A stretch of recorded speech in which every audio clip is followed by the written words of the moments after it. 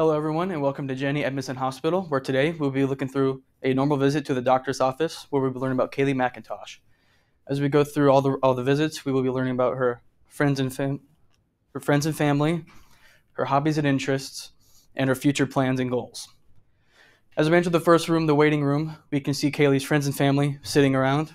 We first have her mom, Wendy, her cousin, Em- Emerson, her grandpa, Donnie, her her grandma, oh God, grandpa Larry, grandma Donna, and then we have Kaelee pictured here with her other cousin Easton, and then we have her friend Delaney, and her other friend Bailey, and then we have her two furry friends of the family, her dog Duke, and Mocha. Duke is a Jack Russell, and Mocha is a Chihuahua. Now, as we enter to the next room, the exam room, we can look at Kaelee's hobbies and interests. Kaelee has earned her CNA, which she says is her most prized possession currently and her most accomplished her prize accomplishment. Her, she works at Sugar Makery, so if you ever need anything sweet or savory, you can see her there working. She also enjoys sleeping in her free time. Also, in her free time, she also enjoys doing her makeup, and her favorite color is teal.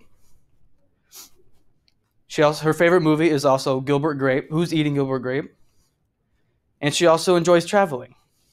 One of her favorite trips that she remembers is when she took a trip to Las Vegas.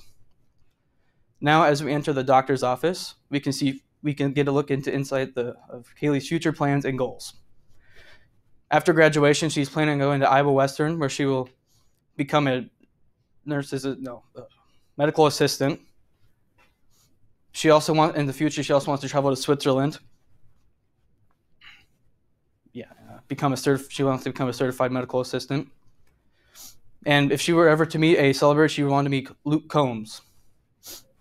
And as we are getting j- discharged from the doctor's office, we can see get a recap on today's events. We saw Kaelee's friends and family, her hobbies and interests, and her future goals and plans.